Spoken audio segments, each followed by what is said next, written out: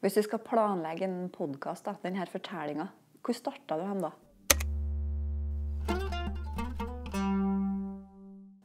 Jo, Det første er jo altså, Når man jobber som journalist, så må man jo ha folk å snakke med. Så da må man kontakte kildene, de som har, sitter på historien. Og så spør jeg dem om du, har du lyst til å fortelle den i en podkast.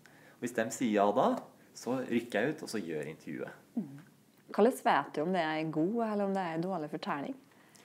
Nei, det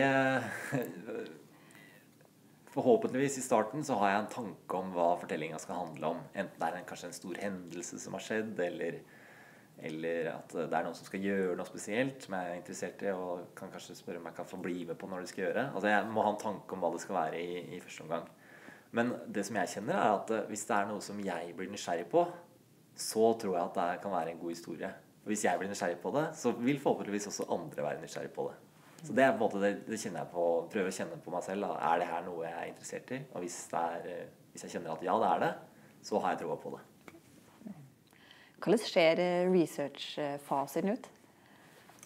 Researchfasen den eh, består egentlig stort sett alltid med at jeg setter opp et dokument med navnet på alle de som er involvert i historien på en eller annen måte.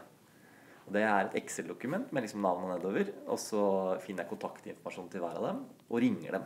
Og sier at hei, jeg heter Sindre, jeg lager en podkast. Den skal handle om det og det. Kan du ha lyst til å være med? Eh, og forhåpentligvis da så sier folk ja, og når de sier ja, så, så noterer jeg i Excel-dokumentet mitt at eh, de her har lyst til å være med. Og så avtaler vi når vi skal møtes, og så drar jeg ut og intervjuer dem. Mm. Hva sier han da? Jo, da Som regel da, så, så, så, setter vi oss ned, og så tar jeg mikrofonen og holder liksom mikrofonen helt inntil munnen på dem, sånn at stemmene deres skal bli fine. Og så spør jeg dem om Kan du ikke fortelle om den hendelsen? Fra A til Å. Fra start til slutt, sier jeg ofte. Og forhåpentligvis da så forteller de på en sånn måte sånn at jeg kan se det for meg. For det er hele greia med podkast, eller når man skal fortelle med lyd, at vi er nødt til å fortelle historien på en sånn måte at det er mulig å se for seg det det snakkes om.